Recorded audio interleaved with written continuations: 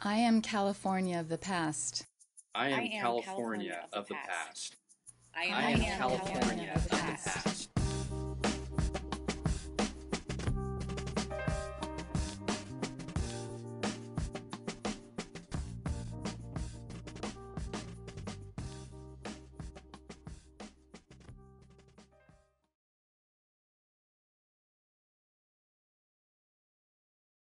When asked to describe the desert, most people would use words like hot, dry, barren, or scorching. But in my little corner of the Mojave Desert, especially in the spring, it is anything but that. I grew up in Lancaster, California, on the edge of the Mojave Desert in an area called the Antelope Valley. Each spring, my family eagerly anticipated the coming of the poppies. Some years were better than others, depending on how much rain we had during the winter. Too much rain, and the poppies would be choked by weeds. Too little, and the poppies would not have enough to grow. And even with just the right amount of rain, if it was too windy, the poppies would close up. And believe me, in the Antelope Valley, it was windy a lot. But on the perfect day, the poppies were spectacular, carpeting fields and hillsides with a brilliant orange.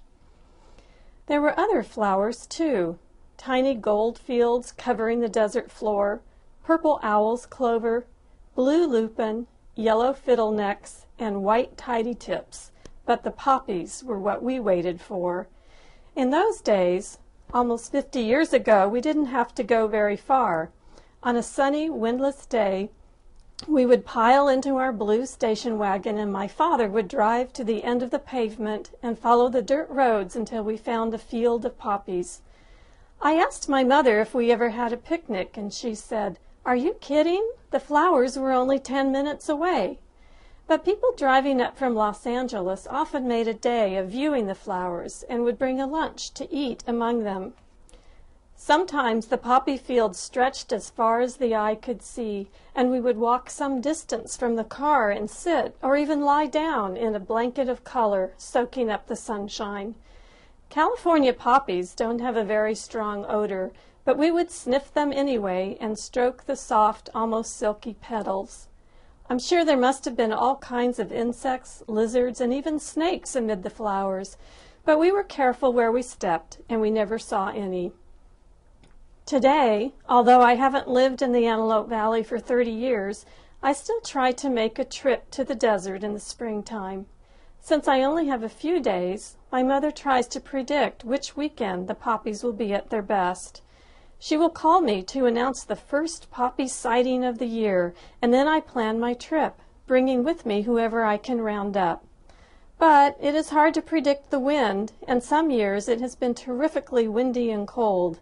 We still go out, though, all bundled up and our hair flying every which way.